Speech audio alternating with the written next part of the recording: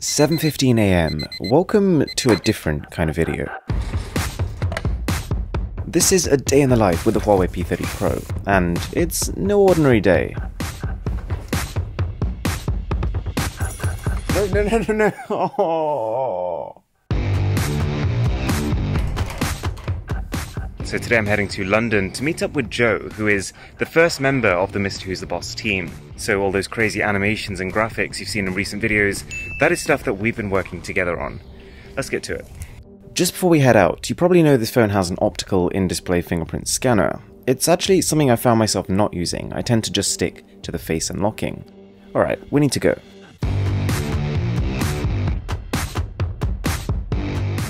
So we're out here waiting for the train to London, and at my local station, it was a pretty cool chance to try out 4K video. And one of the things I found I could do was zoom in five times and read signs across the other side of the platform. I tried walking whilst taking footage from the phone at 4K resolution, and it's actually more stable if you use 1080p, so that's what I use for this shot here. The journey to London is round about two hours, so I spent half of this watching videos on the phone and scrolling through Twitter, and the other half getting strange looks from everyone else whilst trying to record myself doing it. Oh yeah, and I also tried recording 4K video whilst we were passing various points. London St Pancras Station, pretty much at the heart of the city, and when I walked out I bumped into a subscriber, so cool opportunity just to take a photo. Now, St. Pancras is gigantic, and has also got this iconic clock that you're seeing in the background there, and so combining those two makes it a perfect testing ground for the phone's zoom. So I took it out my pocket, tried one times, five times, and then 10 times zoom, and this is the shot I got at 10 times magnification. So then I met up with Joe, who is here to help with some of the camera work today, and we tried the front-facing portrait mode selfie. Let me know what you think. The main objective of today was to get as high up as we could. So we were going to head to the Shard, which is, well, the tallest building in the entire country. So to do that we pulled up Google Maps and we just sort of navigated by walking along the streets. And the phone does have a dual GPS system, so we didn't have any problems navigating or seeing the display in broad daylight.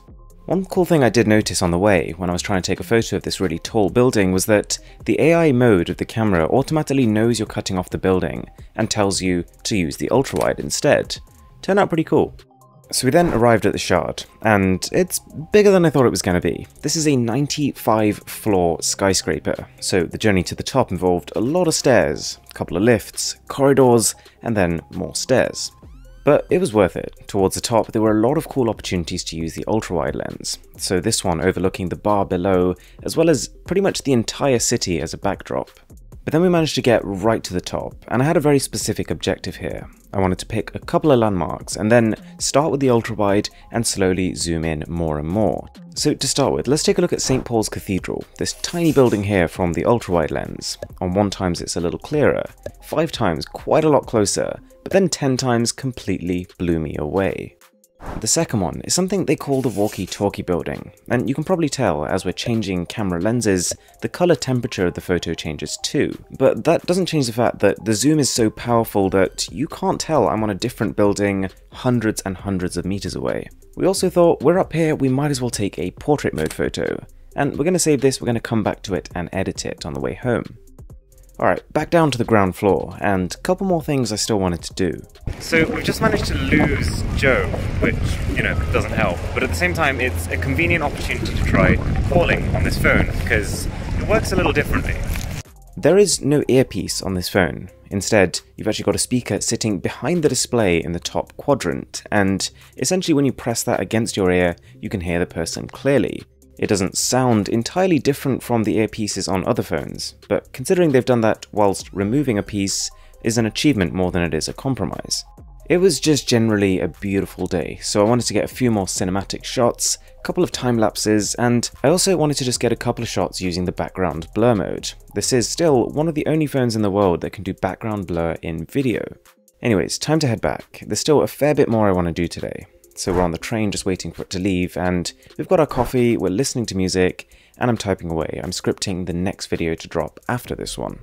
I also use this as an opportunity to open up Lightroom to edit the photo we took earlier, brought back some of the colour, added a bit of a vignette, and this is the photo I just dropped on Instagram when this video went live. Back home, time for a bit of DIY.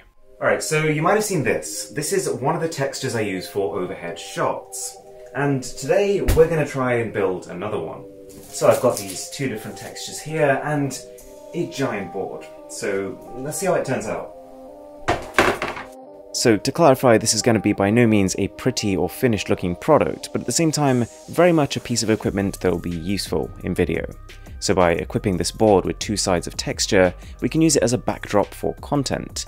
And initially, I'll admit, it doesn't look great, but if you stick a product in front and zoom all the way in, I'd say the background looks pretty indistinguishable from real wood. The Huawei P30 Pro can also wirelessly project its entire user interface onto most TV screens, and there's a reason we're doing this. You get this desktop experience which you can control with the smartphone, and we're going to use it to open up a game called Fancy Skiing, which is a weird one because it's actually on the Huawei website and is meant to be one of the showcases of the phone's capability. The idea being that you place your phone down so that the cameras are facing you, and then these will track your movement. And with the addition of the new time of flight camera you've got on this phone, the movement tracking was incredibly accurate. There was a delay because I was using wireless projection, and as a game, this is definitely more of a proof of concept than something I would actually play, but the idea is cool. It's nearing the end of the day, it's getting dark, and I just wanted to take a few photos using night mode on the camera. I've pretty much already done an entire video covering this feature, so if you do want to know more about that, feel free to check that out. I got this adorable shot of my cat just curled up there watching the news, and it was pretty much time to call it a day. We got to 11.14pm, and there was still 10% left on the battery. That's really impressive considering the day we've had, and that I've spent a good part of it filming on this phone, as well as all the other stuff we've been doing. If you enjoyed the video, it'd be massively appreciated if you could subscribe to the channel. The Huawei P30 Pro is going on sale in the UK on the 6th of April 2019, and I'm going to drop a link in the description below. My name is Aaron, this is Mr. Who's the Boss, and I'll catch you in the next one.